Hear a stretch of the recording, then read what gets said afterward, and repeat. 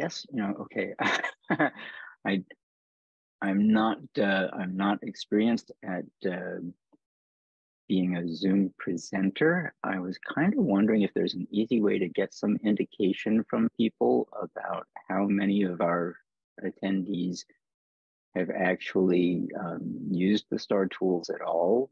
Um, so Joe, maybe you've already done this. So if you actually hit participants and click on that, you yeah. will see like there's panelists and attendees and the attendees can raise their hands and so on. They should be able to. Um, right. You know, so okay.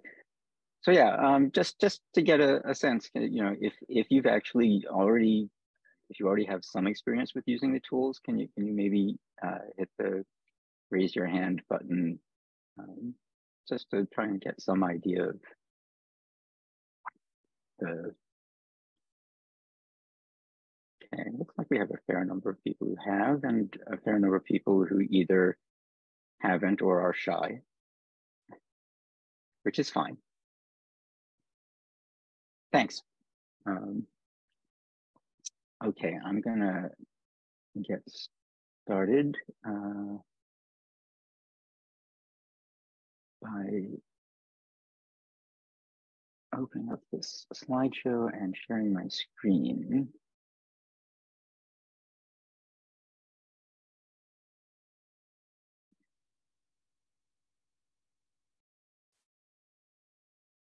Okay.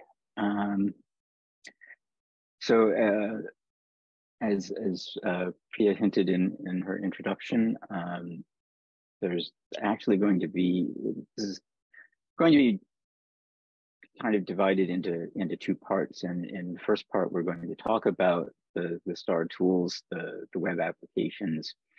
Um, and in the and that'll that'll be primarily me with backed up by by Susan, um, who's been doing this a lot longer than I have. Um, and uh, and then in the second part, um, Yelena, backed up by Eileen, um, will be talking about the, uh, the Research Informatics Center and um, the ways that they can help you with tasks that um, go beyond what you can accomplish with just the STARR tools, put it that way.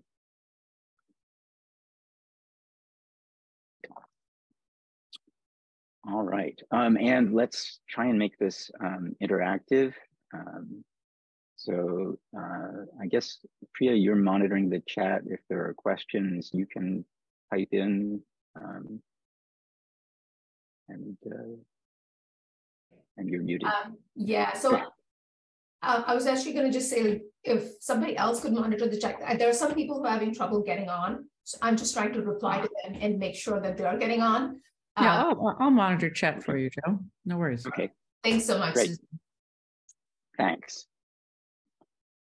Okay. Um, and uh, I'm, I'm, let me apologize if you if you happen to be looking at my face, you'll see that I'm not looking at the camera because I have uh, a camera here and a monitor here. So sorry about that.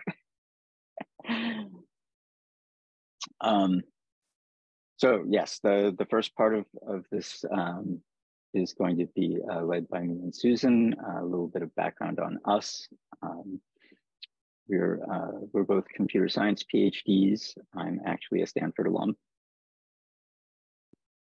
And uh, I've been here in uh, I was about to say research IT, but now research IT has been renamed. So I've been here at uh, research technology engineering for the School of Medicine and TDS. Um, uh, so I need to fix that slide um, for five years. Uh, and I also um, work with the SEAL, which is the Stanford Emerging Applications Lab. Um, where Susan is uh, the uh, director of engineering, and Susan uh, is uh, a uh, a long time uh, um, member of the, the School of Medicine research technology team, has been at Stanford for 20 years. we're um, going to be very sorry that she's planning to retire in a year. Um, but uh, she knows she knows um, she knows a lot more than I do, and so I'm relying on her to fill in the gaps. Um, and let's uh, move on. Okay, so um, what we're talking about today are STARR tools, um, which are basically two web applications um, that uh, work together. Uh, and their primary function is to um, let you explore the uh, the data that uh, that we have from the the two hospital systems, the, the adult and, and children's hospital for research purposes, um, primarily, because um, they can also be used for some other purposes, but those are the primary purposes. Um, and uh, in order to in order to use the tools, you have to have a, a valid, fully sponsored SUNET ID. Um, the cohort discovery tool is designed to let you go through electronic medical records data um, and figure out uh, um, who are the patients that meet certain criteria. Uh, usually these criteria are defined by your research question. Um, and I'm going to, you know, confess here, I'm, I'm a software engineer. I don't actually do medical research. Um, and so um, my understanding of what those questions look like is probably a little bit fuzzy. Um, I'm sorry, Joe, I don't want to interrupt, but just while we're still getting set up. So I know it looks mm -hmm. like chat is disabled. Um, you, I think everybody can still ask a question in the Q&A. You, you cannot chat, but if that's okay with everybody, we'll keep it as it is. The, my other option, because the webinar has already started, I can go in and change the settings of the webinar. Um, but what I can do is we can make everybody, like everybody effectively just gets promoted to panelists. So that way you can jump in and talk if, if that's what you guys prefer. So let me know what you would like. Yes, I think that would be wonderful because we do want this to be interactive. We okay. want to be able to just break in with their questions. So uh, I'm going to go ahead and do that. A lot of people are declining to be made panelists. It, That's fine. That's up to them. Yeah. Okay.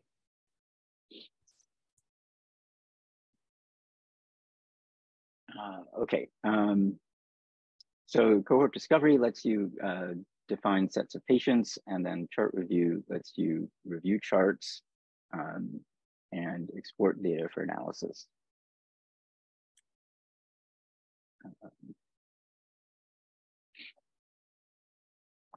So this is this is a high level view of um, the clinical data that we have uh, that that uh, is available to um, to researchers. Um, the main things are that uh, we have the two uh, electronic medical record systems, which are um, both um, EPIC the, uh, the adult hospital system and the, uh, the children's hospital system.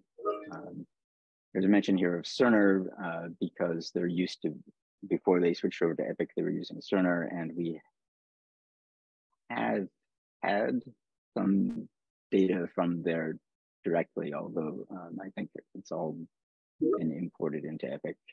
Um, there are um, shared resources. Um, radiology and the clinical labs are common um, to both the, the adult and the children's system. Um, and then there are a bunch of uh, additional uh, information sources um, that uh, are, some of them are shared and some of them are not. Um, but they range from uh, things like cardiology and uh, echoes and uh, ECGs and bedside monitoring, which is a relatively recent thing that came online over the last couple of years um, that uh, was um, pioneered at the uh, at Children's Hospital and is now uh, we're getting adult data available as well. Um, so uh, that's that's a description of what the you know what the clinical data is that exists in our world. Um, when we come to research, there are there are um, two things are going on. One is that we are uh, combining and uh, uh, the data from the different systems, um, selecting, but only selecting some of them uh, to store in our database. And, and we are also uh, obeying certain restrictions that are imposed by the, uh, the privacy and research um, compliance offices. So uh, not everything that's in the clinical system is available in STARR, which um, is our research data repository. Um, but we uh, do make uh, every effort to make sure that uh, all of the clinical information that is relevant to research gets pulled in as much as we possibly can, given the compliance constraints that we are operating on. Yes. Most of the stuff we filter out is stuff that researchers are not interested in. That's a good point. Um, so uh, I guess I can just see if there are any questions before I move on to the next slide. Um, I guess um, Mostly just questions about how to get access to the recording afterwards. Yeah. okay. All right. So as I mentioned, um, uh, STARR is our, our research data repository. That's what the two R's stand for.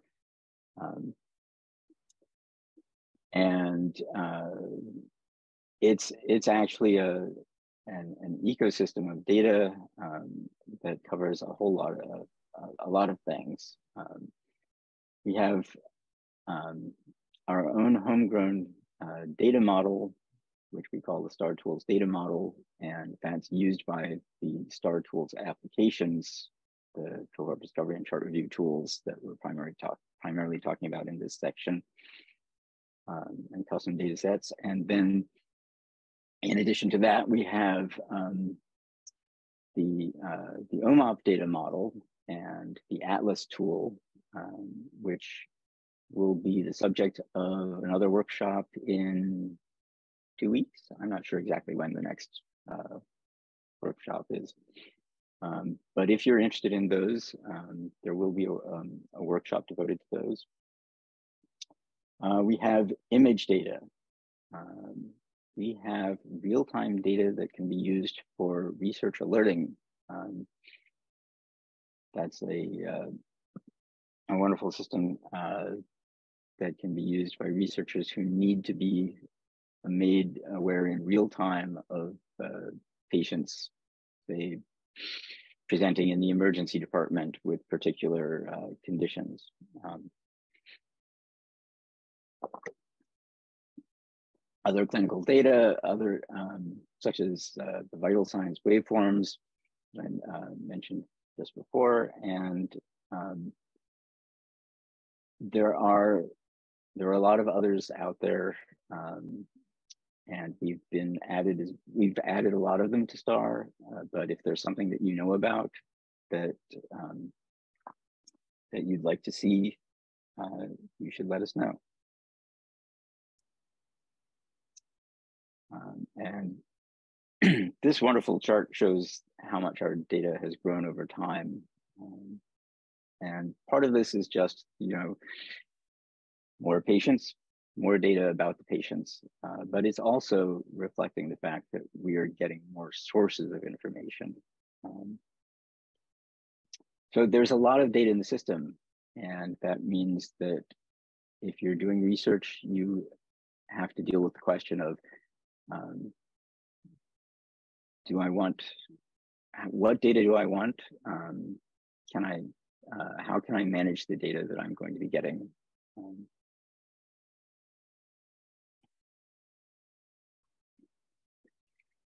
so back into what's uh, specifically in the STARR tools data model, um, we have uh,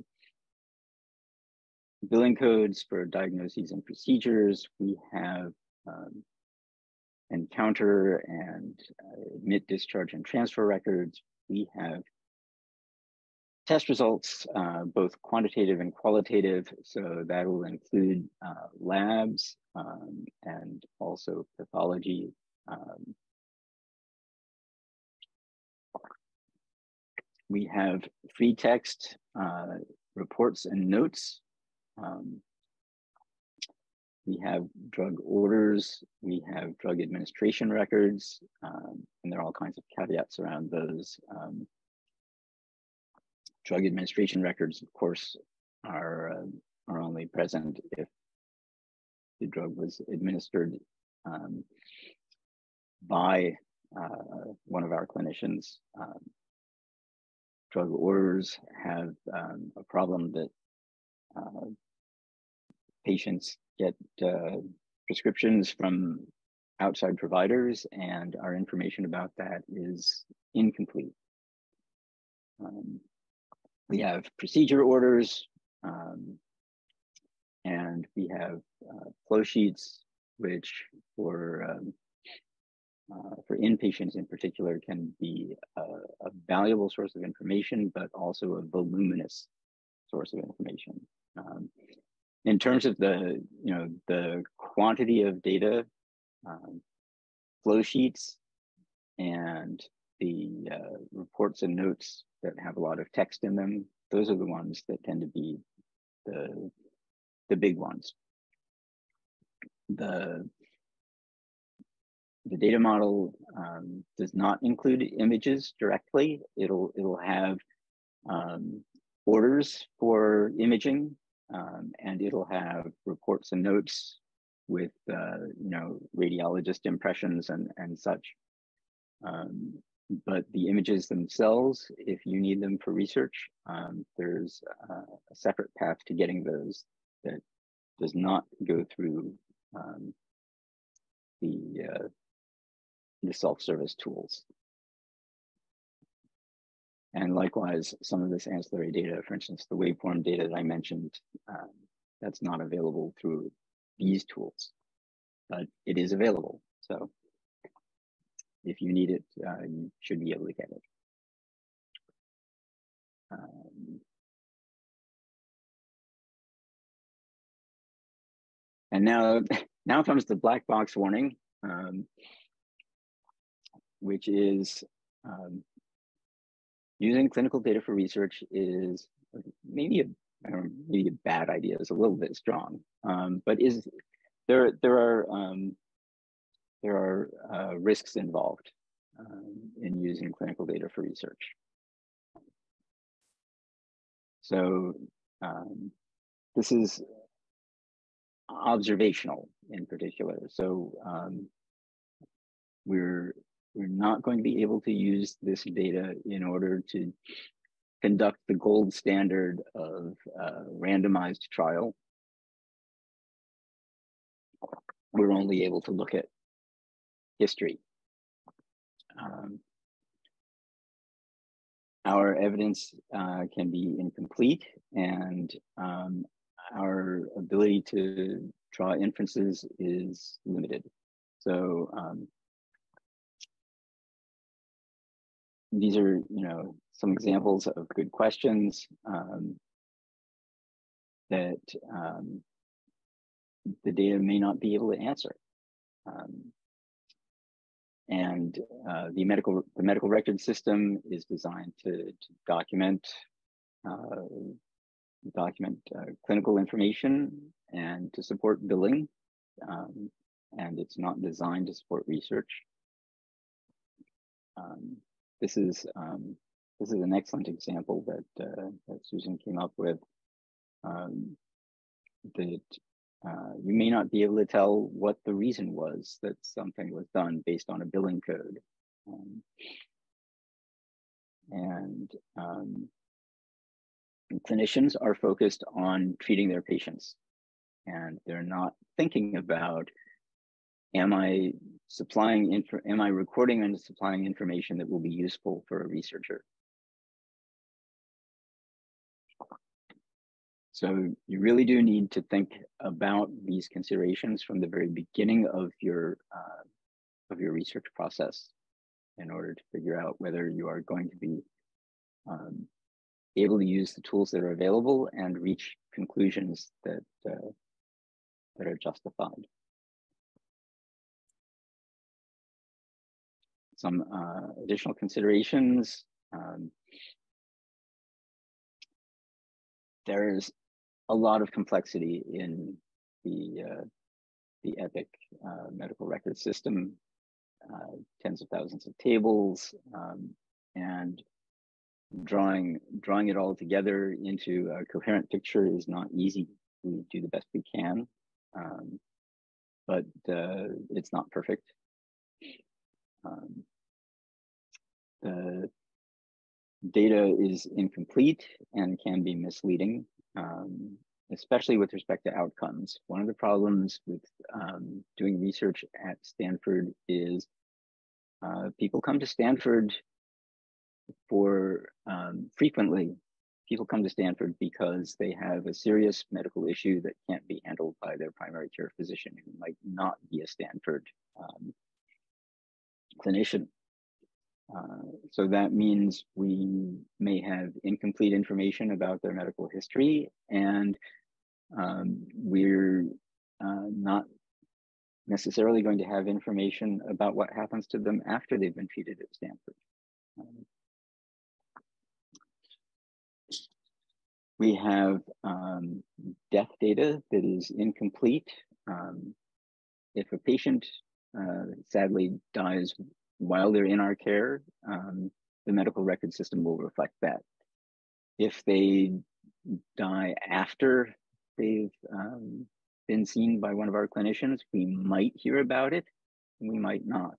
Um, we have uh, data from the Social Security Administration that tells us about um, some of our patients, but the data itself is incomplete and we can only use it if we can successfully match patient identities. Um, and more and more, we don't even know um, uh, the uh, social security number of our patient. Um,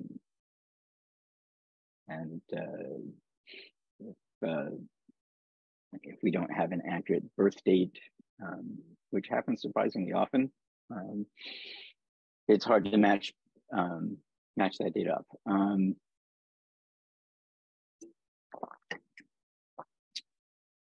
privacy and compliance are paramount, and that does have some impact on what we can make available. Um, anytime you're doing research that uh, that includes uh, protected health information, um, you need to be aware of uh, of exactly what your um, what the risks are.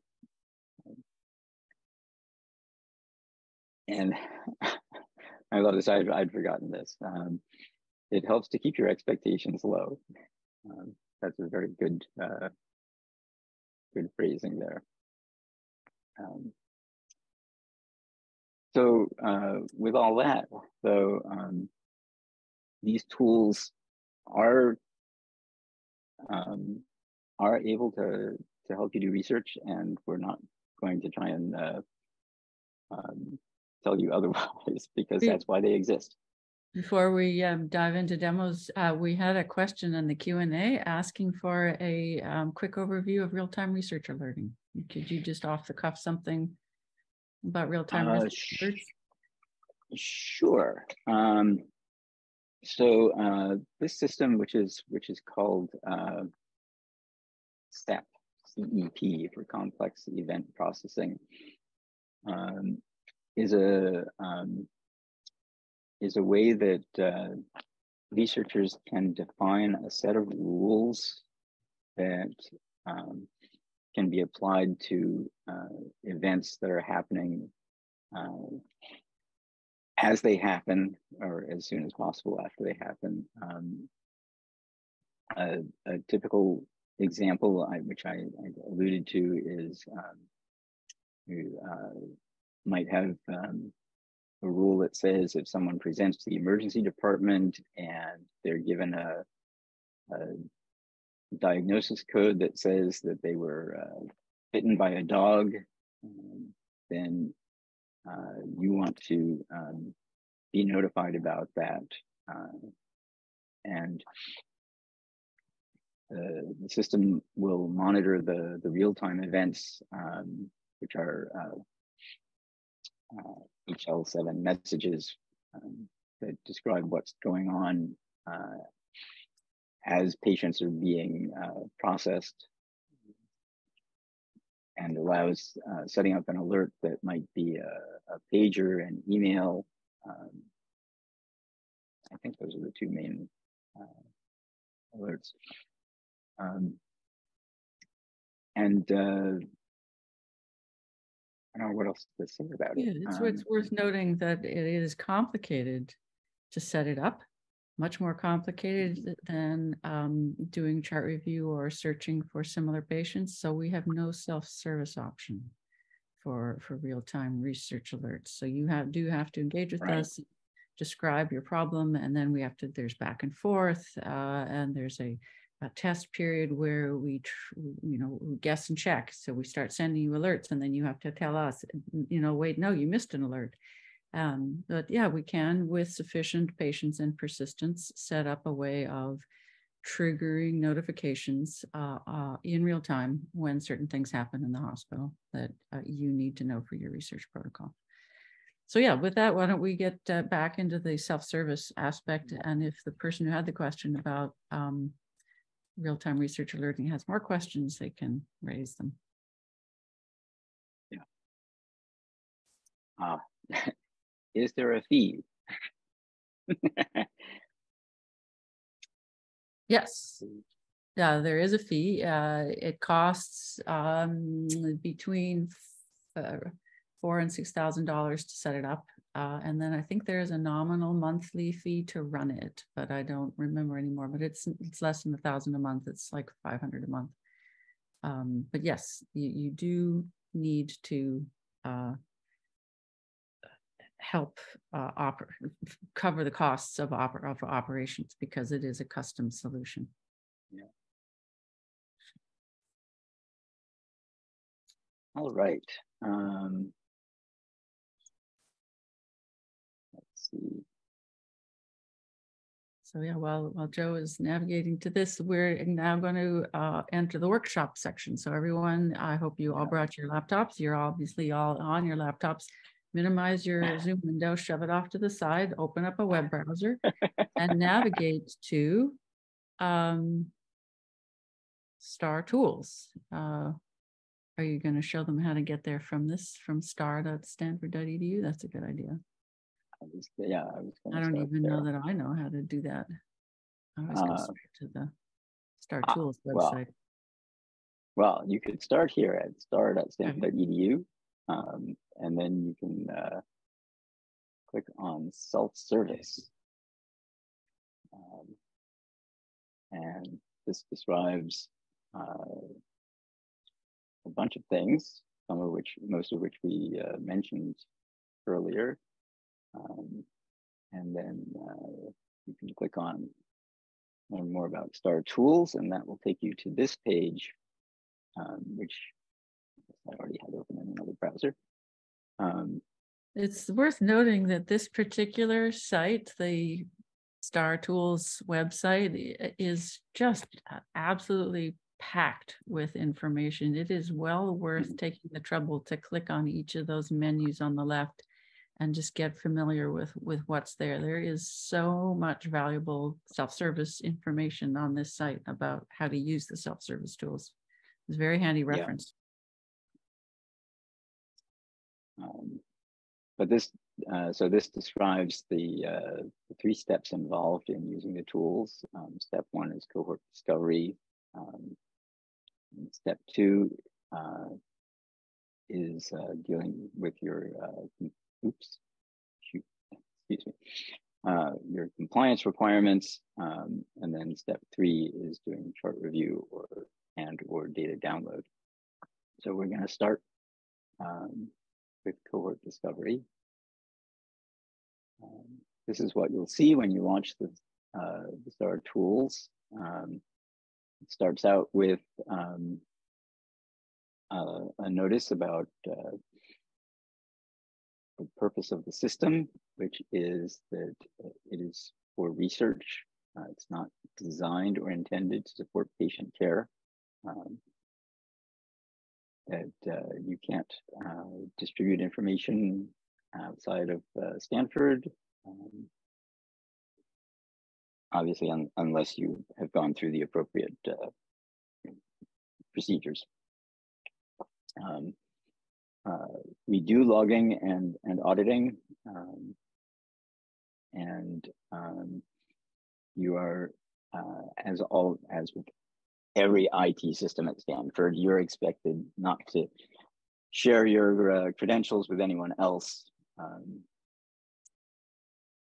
and, uh, well, thanks for the reminder. That's actually worth uh, sort of calling out in a big warning. Please, when you're working with uh, clinical information for research, you need to be super careful of it. You are a custodian of some extraordinarily valuable and sensitive information. So take take privacy concerns very, very seriously.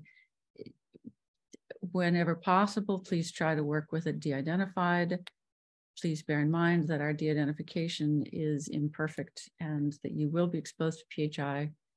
Don't ever, ever, ever post any of it on an external website of any kind unless you've got made sure that your PI has all of the correct contracts and legal agreements in place. It's literally against the law to post clinical data outside of your organization. So please, please do treat it cautiously and carefully. Next. Thank you. Okay, um, so this is what you're presented with uh, at the beginning of using cohort discovery tool. Um, the very first thing I want to call your attention to is the question mark in the upper right corner, which is the help button. Um, there is a link there to take you to the documentation and the, the overall, see, I forget now exactly which which page each of these goes to. Um, but there's uh, a user's guide for cohort discovery, a user's guide for chart review. Um, we have a link for uh, connecting with the RIC. Um, we have uh, a little bit of information about the data that is available at this moment in the system. Actually, I'm actually going to bring that up and it's going to tell us, um, yes, it's going to tell us that we're looking at data as of uh, yesterday um, from both uh, the adult and uh, children's hospital systems. Uh, and this last one um, is really important, um, reporting a bug or making a suggestion. Um, if you click on that, you get a chance to fill out a message. Um, if there's a bug or a question that relates to what you're seeing on the screen, you can include a screenshot in it and uh, send us feedback and we will respond.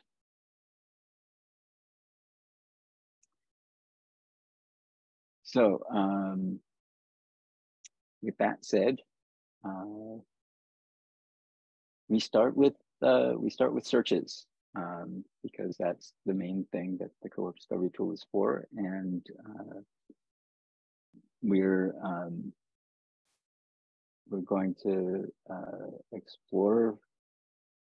Uh, hopefully, we can get uh, maybe a suggestion from someone someone in the audience about uh, an example of what they might be interested in looking at. Um, there are some suggestions here. Uh, um, and uh, there, are, there are some interesting things that are buried in these uh, simple questions as well. For instance, if we're asking how many diabetic patients are currently taking metformin, um, we can uh, look at patients who have a diagnosis of diabetes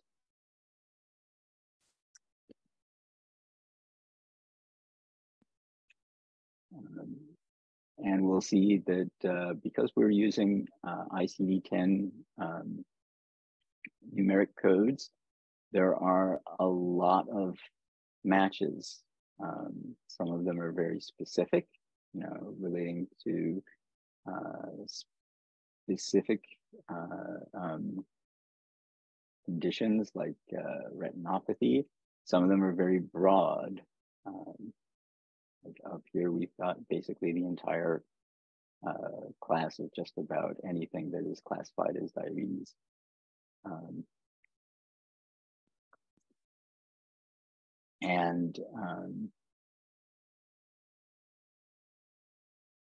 the other part of that question was uh, ones that are uh, patients that are currently taking metformin. Um, the, uh, the way the uh, cohort discovery tool works is that each of the top level conditions that we're specifying here, each of these big boxes um, is a condition that is a constraint that is going to be added to our um, our uh, filtering of the, the set of patients. So if I have a diagnosis, I have a drug, um, what's going to happen is um, the set of patients that I'm going to find are ones that match, that have both of these conditions. I have some questions to guide this when you're Okay, so the, the, we have one question. For the question of metformin, can you stratify those with metformin drug order for one year or more, for example? That's don't think we an can. interesting question. Yeah, I think what we can, you click on the analyze button. Real quick. Um, So that'll show some graphs, but it's not a stratification. I think stratification is something Yeah. that you need to do yourself in R after you've gotten the data. Um, so this is the, this is the only built-in analytics that we currently have. You get to see uh, very simple static Yeah. graphs of um, top 10 lists and uh, demographic breakdowns for your current um, patient population. Um, neat. Yeah, that's it. Um, and the other, oh, uh, so somebody's asking about temporal constraints, so we'll get to that in a minute. Yeah. And then um, you were talking about and and or. Are there additional Boolean operations, for example, or? Uh, yes, there is or. Would you, uh, Joe, you want to explain how or works? Right. Right. Okay. Um, so I uh, I might be interested in uh, patients who are taking uh, metformin or they're taking oh boy I don't know any I don't know anything about drugs for diabetes. Um, oh okay. Uh, patients who are taking metformin or they're taking insulin. Oh dear, there are a lot of uh, there are a lot of choices here, and I don't know um, exactly what I would choose uh, because I am not uh, um, I'm not qualified. Um, And just just pick the top one, I guess. yeah. Um, so in this case, I'd you know be able to find uh, uh, either of these drugs, and uh, this one I should have done a should have done a count. Um, So the, the basic idea is that if you want to make the search, the uh, numbers go smaller, you drag new uh, versions of the constraints in from the left-hand side. Each new thing that you pull in from the left-hand side is going to Yep. uh, make things smaller.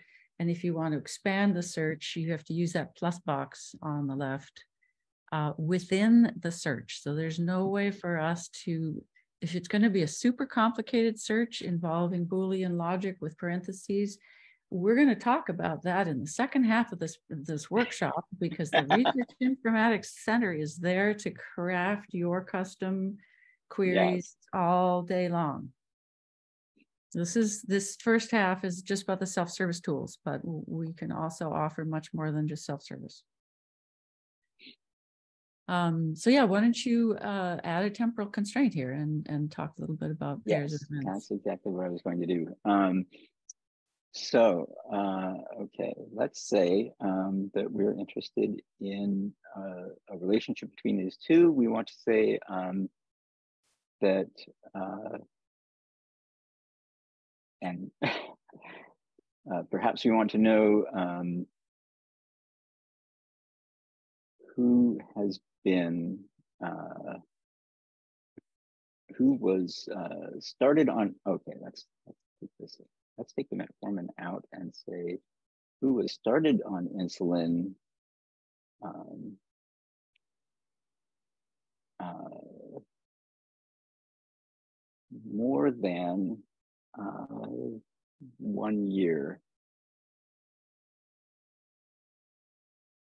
after their first diagnosis of uh, diabetes.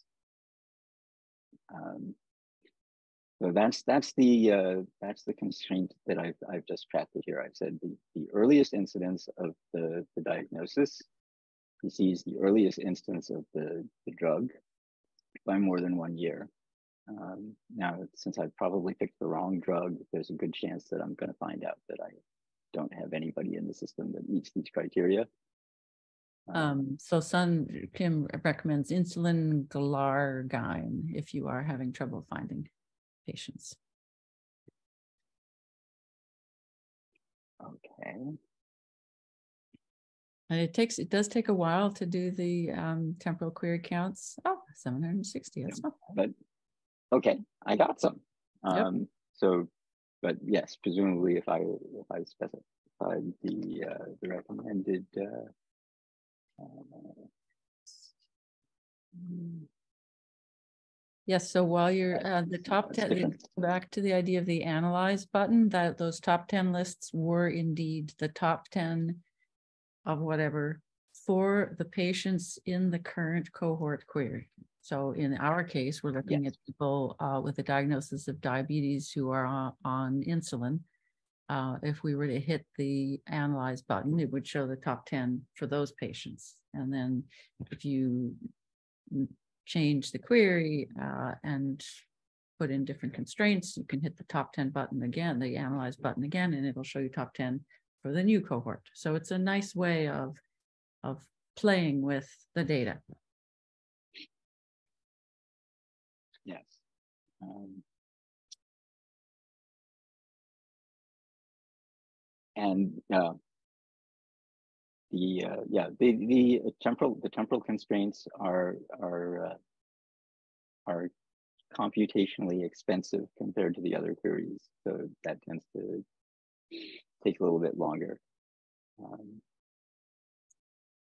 but yeah, uh, do this analysis, um, which is going to take a while again. Um, I probably shouldn't have done that.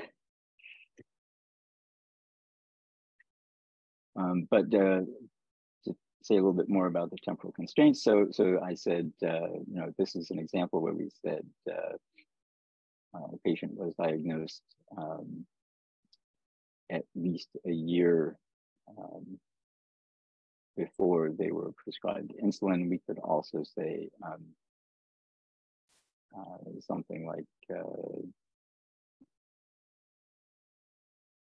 they uh, started on insulin uh, less than six months after that first diagnosis.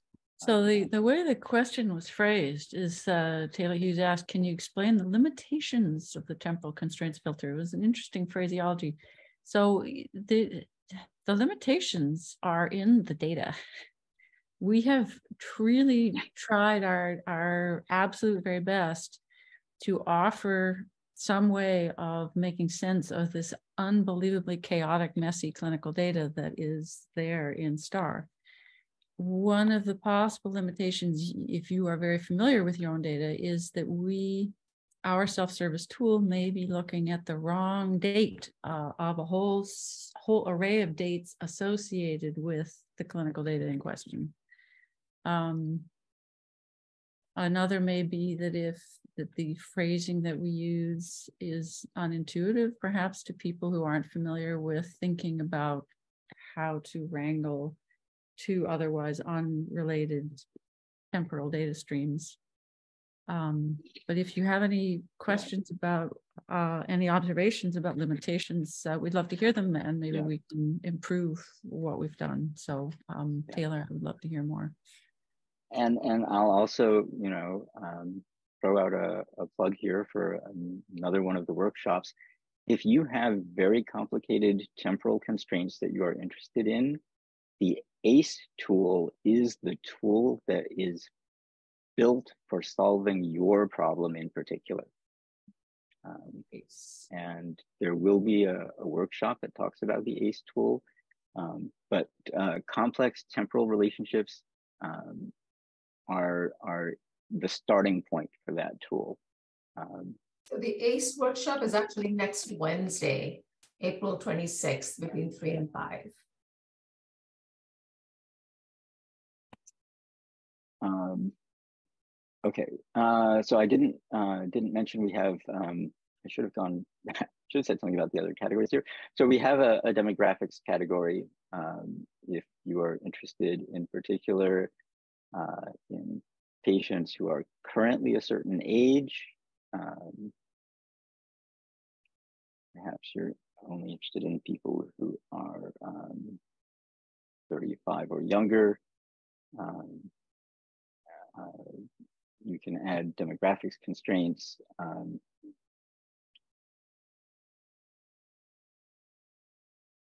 um, I'll, I'll just mention here, um, our user interface uses the word gender um, and we're, uh, we're using data that is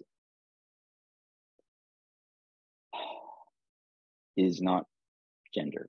Um, we don't actually have all of the all of the different information available um, in our in our uh, in our system at the moment about um, sex and uh, so, but this is this is sex. There, this is biological sex and, and, not gender. I think is the point you're trying to make. This is not yes. gender identity. This is their sex at birth. Well, yeah, actually, it's it's not that. That's not that I wanted to raise it. It's it's it's something that the system calls administrative sex. Okay. Um, and it is with that is almost always sex assigned at birth. Um, but um, for uh, for trans patients, I think um, it represents their legal sex and uh, not their sex assigned at birth. Anyway, minor digression. Um, so other other uh, event types. I mean, we we talked about diagnoses and uh, um, and drugs. We have procedures. Uh, again, procedures are used the uh, the standard procedure codes, um, uh, usually CPT four. Um, uh, let's say uh,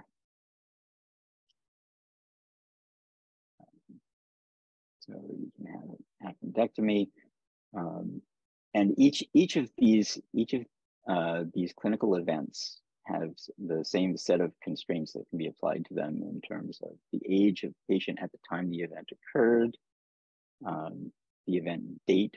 Uh, so if you were looking for people who uh, tested positive uh, for COVID um, before 2020, um, you should not find any.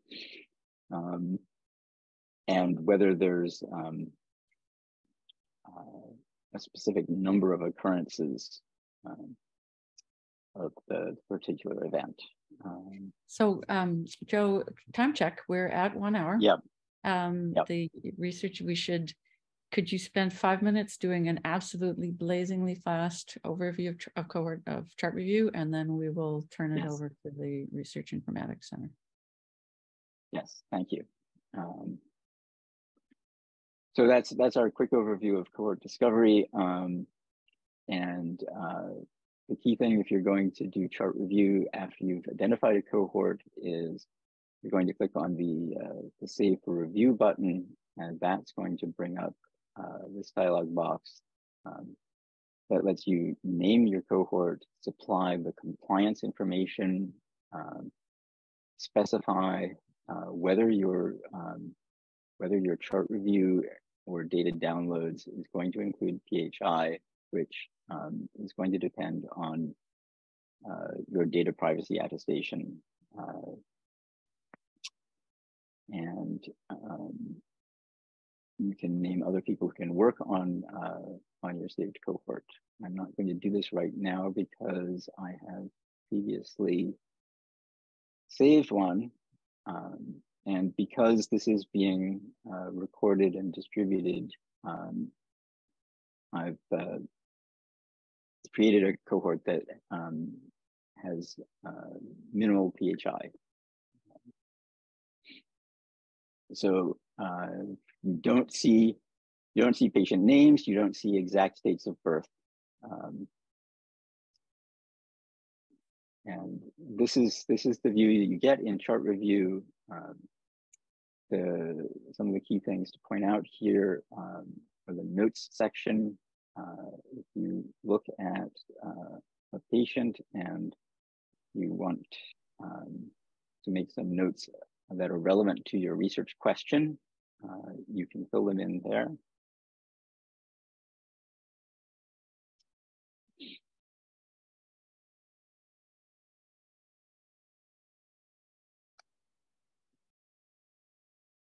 Um, and when uh, you go back to the chart view, you'll be able to see the notes. The status is um, frequently uh, people will um, create a, a, list of candidates and then the primary purpose of chart review for them will be that they go through and look at the individual um, individual candidates and decide whether or not they should be included or excluded uh, in uh, in the eventual set that they're going to be um, looking at. Uh, you can also create your own custom tags. Um, uh,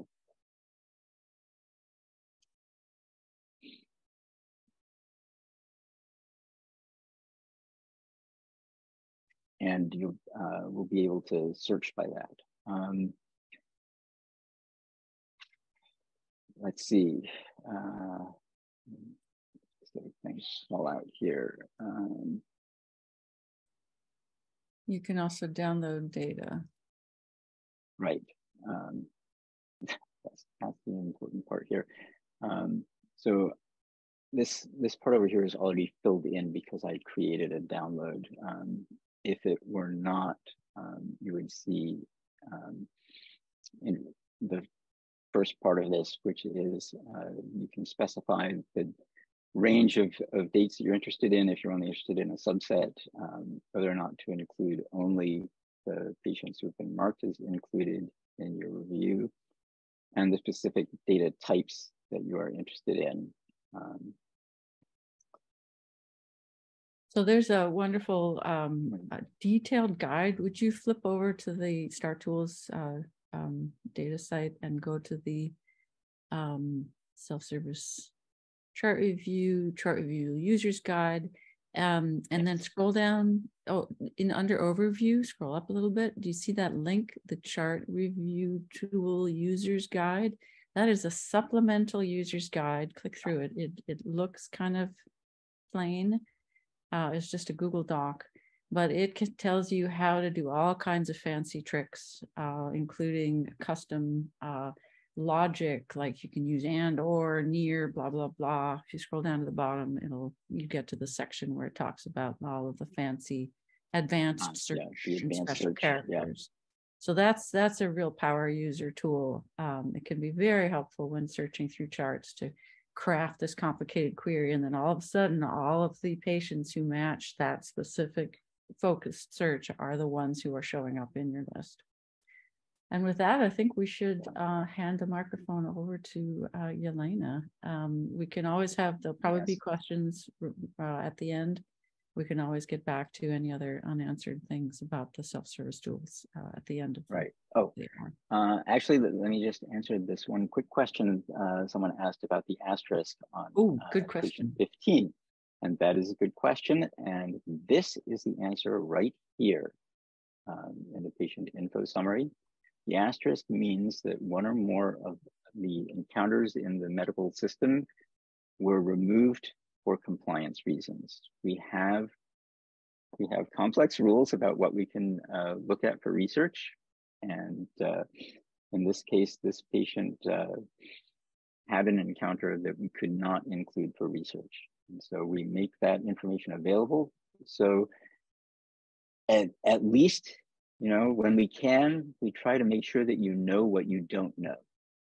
Um, because all too often we simply don't know what we don't know because there's no information available at all. In this case, we know that that information is might be relevant and is not available. And so you can take that into consideration.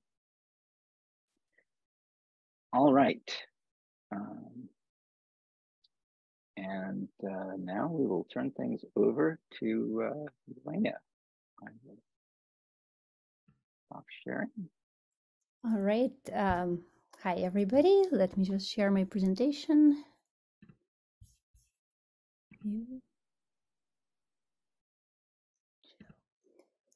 Okay. So we are Research Informatics Center. Um, Yelena, you're not sharing yet. oh, sorry. Screen share isn't showing up on our Zoom. Got you, got you. Let me try it again. Is this good? Yes, we it's go. perfect. Yes. Okay, thank you. Okay, so uh, we work very closely with Joe's and Susan's uh, groups. Um, and uh, so um, I'm going to talk about our role, what we can help you with, um, then the workflow, how we would, how to contact us and what happens next. Um, have a very quick uh, sample project and then Q&A. Okay. So we have access to all EPIC data uh, complete set of epic data. So um, what we can help you with is, is if you have a very complex search, as you just saw in the STARR tools, uh, there are some limitations to the ors and ands that you can do. Sometimes, uh, very often, people have very complex search criteria. Um, or if you're looking for some variables which are, you know, somewhere hidden deep within the clarity tables, um, we can help you find those. So in in in that uh, in those cases, we can um, help you. We can write the custom queries and extract the data for you. Um, another thing we can do is we have kind of broad view of available clinical data sources. So if you don't know where to go, you're looking for a specific you know type of data, we can help you uh, connect you to the right team. We may not be the team extracting the data, but we'll be a part of the team. We'll check your compliance and we'll connect you to the right person. Um, what we can also do is if you're, so we al always recommend to try the STARR tools first. They're free, they're awesome, they're great. They can solve a lot of, uh, answer a lot of your questions. Um, and you can get an idea about your research if there are enough patients for your research. If you have questions about using STARR tools, you can also talk to us and we'll help you figure things out. Okay. So this is kind of a workflow. So you have your research question. We recommend again, you go to STARR Tools page, read the documentation, try it out. Meanwhile, you can uh, talk to us. We'll help you figure things out then you would obtain compliance, which generally include your IRB and the privacy attestation. Um, and then either you download data yourself using the, the self-service STARR tools, or we can do a data pool for you. And then, of course, you analyze, write the paper and publish. So we do have a website where which provides all the useful links um, and uh, this is how to contact us. So if you uh, like sometimes you don't need to contact us at all. So if you know how to, uh, you know, follow compliance, you can read the documentation. Um, you use the STARR service, uh, the self-service uh, STARR tools, you download the data, you do not need to talk to us. But if you have additional questions or if uh, you have a more complex search criteria, you would go to our webpage and there are links here. First link to the STARR tools, uh, then um, this is uh, how you submit a request. So you would fill out our intake form and uh, you would get an email back with a case number and then you would schedule an office hour. That's pretty much the workflow of how to connect with us. Um, let's see. Oops.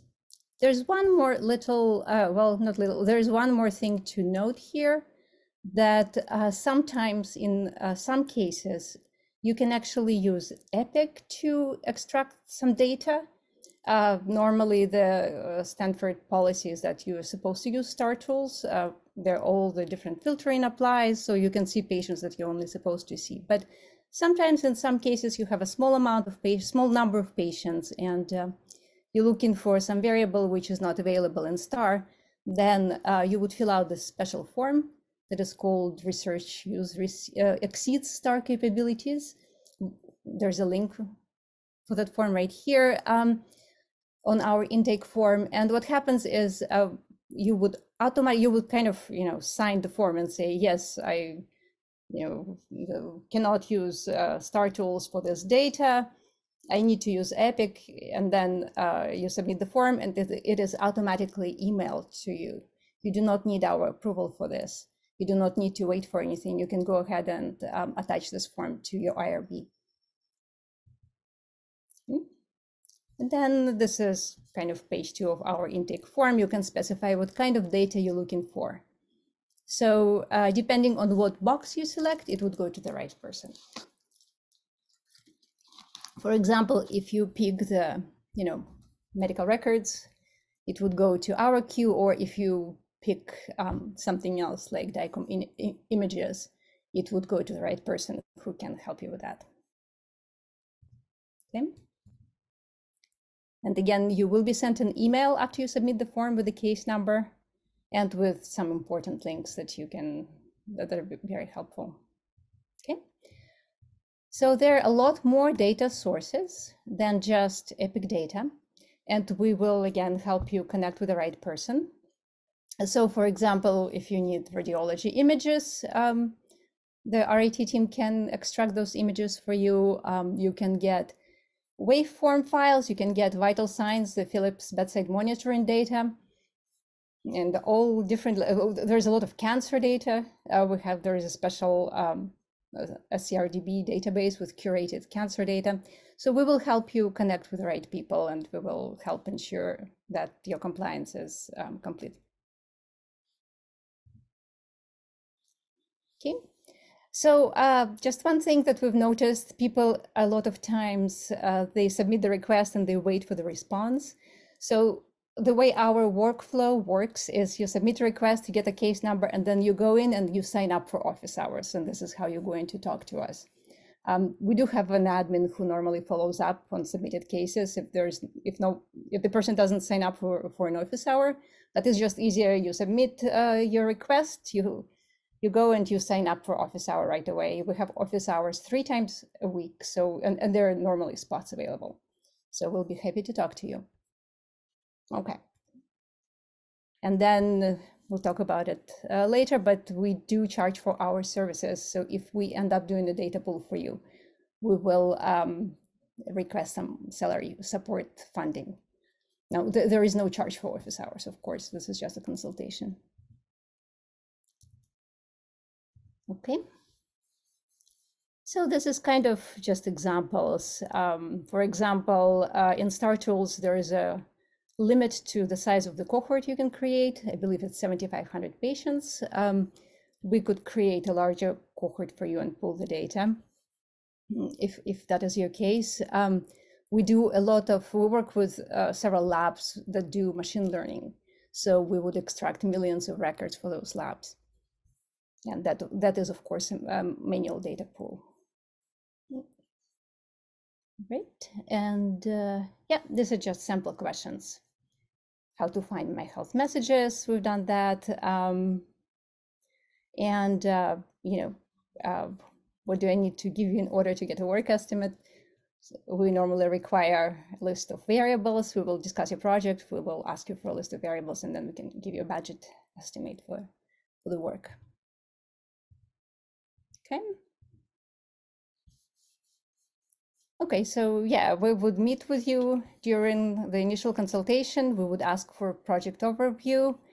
Uh, we would ask you for how to characterize your cohort, uh, what, what exactly, what variables exactly you're looking for um, all necessary codes, maybe ICD codes or procedure codes uh, that you're looking for. Um, and uh, we would, based on that, we would give you a budget estimate. And uh, we would need a PTA that normally your financial admin would have, your department's financial admin would have um, in order to start work. Okay. Oops.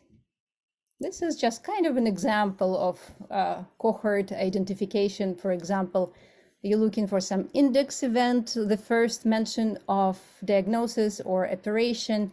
You can uh, you may specify the age range for you know the cohort of interest. Um, could be location, uh, certain clinics or ER department. Um, and then we would ask you to specify inclusion, uh, exclusion criteria, anything temporal like MRI done within you know one week before the procedure, for example, something like that.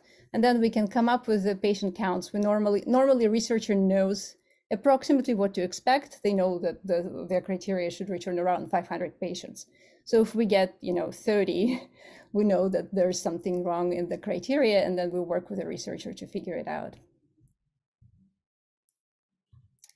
There are some variables very, very easy uh, to find. Uh, they're normally available in um, STARR tools. They're variables that like almost everyone asks for, such as demographics, labs, diagnosis, encounters, and so on. And those are normally very easy for us to extract. Um, then there are some harder to do things. For example, if you're looking for some data uh, that is stored in unstructured uh, unstructured data that is like stored in nodes, we can do some regular expression matching, but it normally requires some manual review. So you would still need to have someone manually review the notes and um, make sure that um, what's extracted is what you're looking for. There also, so I've heard that Clarity database has between 10,000 and 100,000 tables. Um, I don't know exactly how many, but uh, there are some variables hidden deeply within that uh, data model. And uh, sometimes you have some variables which are just will require several hours of research for us to, to find. So that happens too.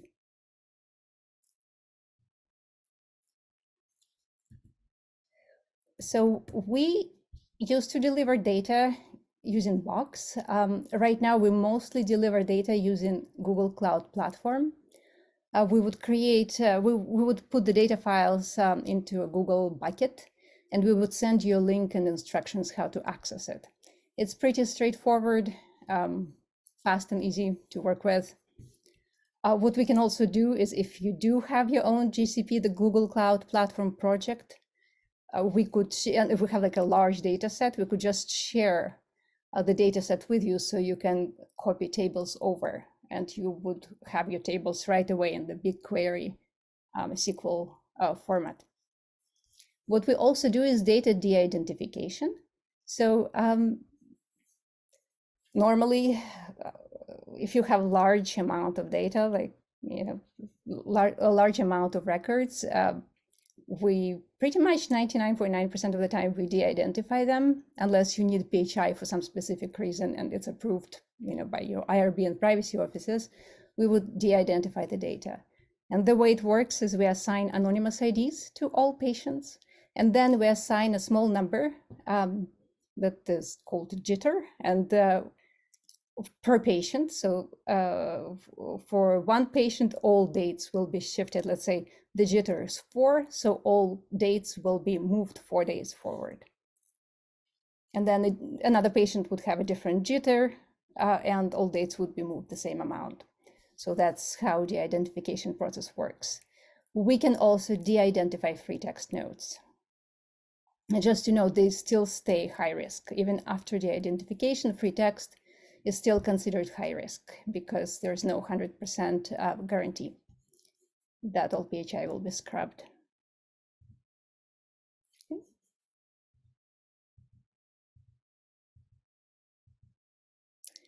So again, I think Joe mentioned it already, but um, to set the expectations correctly, the EHR data is messy. There are pregnant men in the system.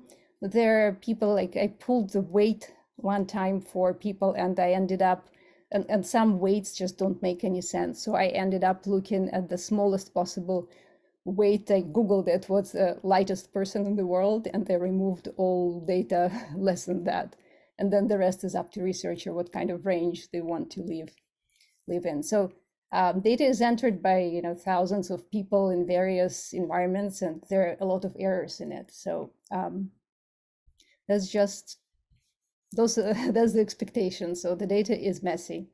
Um, also, something we want to mention. So we sometimes do a project. We pull the we create queries. We pull the data. We deliver the data and then a year later or six months later, a researcher comes back um, with additional questions or additional requirements. And just again to set expectations, we would probably need some time to start working. So between uh, the time we submitted the data, we delivered the data, and you know six months from the date, we probably done like dozens of other projects. We do not remember what we did for this particular one. This is one of the challenges of our work. So we have to read the notes again. We have to open the code and see what was going on in that project. So it will take us some additional time and uh, you know there are other projects that we are working on so um, just please expect if you you know reach out a lot later please do expect some delay until we can start working on your project again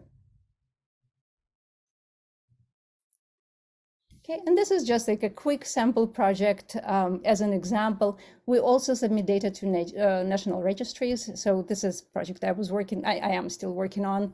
Uh, we submit data to Kidney Research uh, Network. It's hosted by University of Michigan. And um, so we identified patients based on nephrology clinic visits, uh, not even on diagnosis. And all those patients, we, we received uh, data dictionary of about 100 variables, so possibly more um, of what uh, University of Michigan, uh, what, what that registry is looking for. And we map this data to that data dictionary and we de-identify the data and we deliver it on a monthly basis. So we have quite a few national registries that we've done this for. So this is just another thing that we can help you with. And this is just one more time how to connect with us. Um, so you would submit a request, um, look for your email response with a case number, sign up for office hour. Uh, and then we would have a consult. We would ask you for a list of variables. Um, we would provide budget for you. Um, and, uh, you know, upon receiving the PTA, we would do a data pool. And then there are normally several iterations after we deliver the data, researcher would come back with questions. Then there's like a data QA stage. Okay, and that is the end of my presentation. We'll be happy to answer any questions.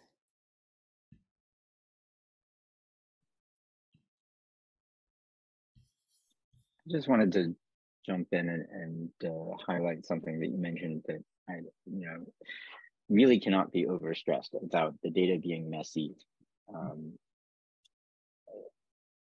I, I, I look at a lot of this data and and there are there are two kinds of data. There's data that is generated by by uh, electronic systems, and there's data that is entered by hand by busy clinicians and uh, even and non-clinical staff and you will see things like oh someone has an appointment scheduled for 50 years into the future um, or uh, they're recorded as as having uh, you know had uh, records that were transferred in that uh, are over a century old, but they're not actually a century old. Um, so it, it's just something that, that I think people really need to be aware of in terms of the, the, um, the quality of the data and and how it how it affects your your analysis of it. So thanks for mentioning that. Thank you, Joe. I agree completely.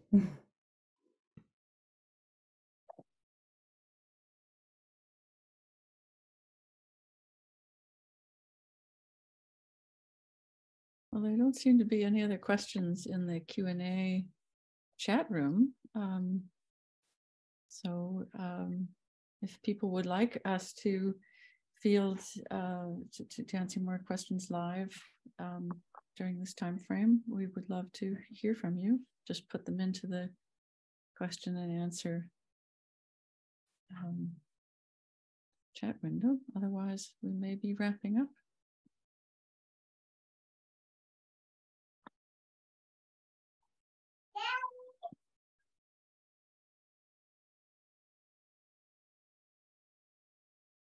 All right, well, I think that that might be a wrap. Um, thank you everyone for attending today. We really appreciate you taking the time out of your busy days to learn about STARR Tools. We're excited to be uh, your uh, partners in uh, excellent clinical research, and uh, we hope to see you at the next one of these excellent seminars on STARR Tools. Uh, Priya, when is the next seminar? Uh, so the next one is um, next Wednesday at um, between three and five, April 26th, and that one's on ACE. Uh, we have another seminar coming up uh, on, um, you know, how to use BigQuery. Um, so BigQuery SQL to actually maybe use the STARR OMOP uh, data set, and that one is coming up on Thursday, May 4th, between one and three. Uh, we have the Atlas and network studies workshop on May 16th. And between the third and the fourth is actually the STARR users group meeting. And this year we're actually having it over two days. So that's on May 10th and May 11th. May 10th between uh, 9 and 12 in the morning, which is a Wednesday, and then Thursday between 1 and um, 4.30. So I think wherever you guys got this information, you should have, you know, all of this information was together for the users group meeting as well as um, um, as well as for these workshops. Let me actually just see if I have a quick slide that I can show. I think I might. A second. And yeah, so let me just share my screen.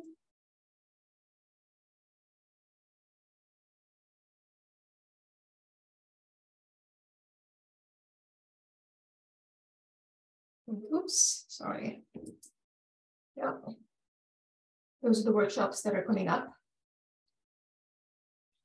I'm happy to actually post this in the chat as well in case somebody hasn't gotten these.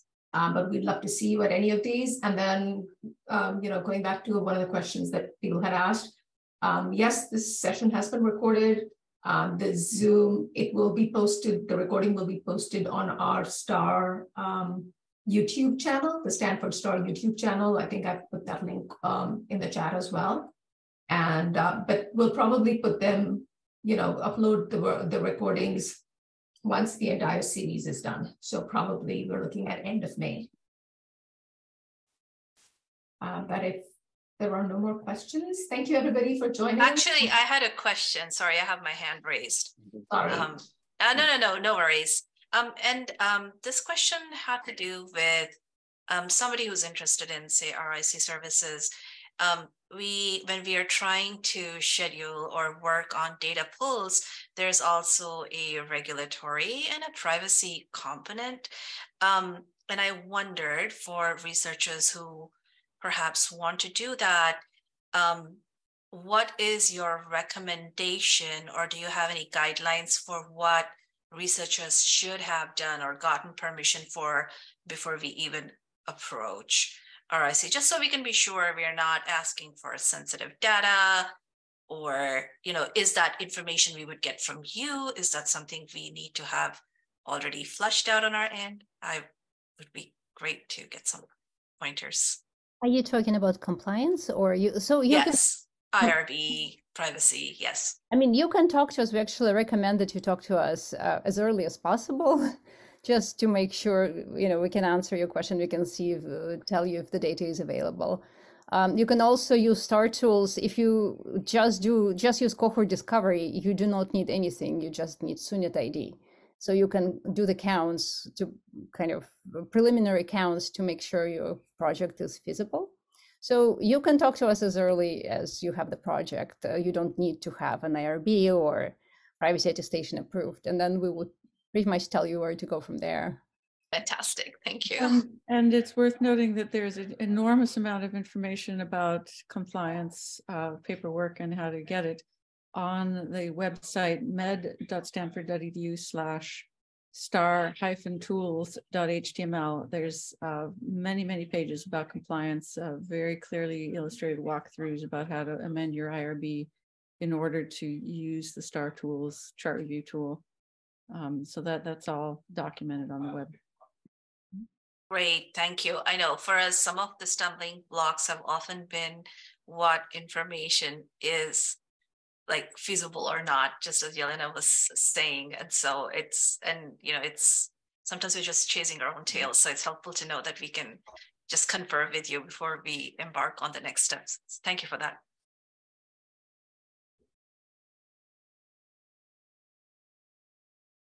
Right, um, so I actually don't see anyone else's hands raised.